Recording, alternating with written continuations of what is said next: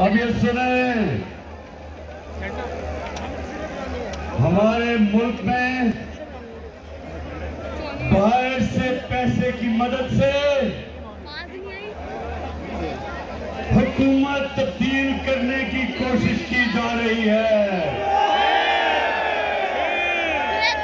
पैसा बाहर से। पैसा पैसा बाहर से है। लोग हमारे इस्तेमाल हो रहे हैं।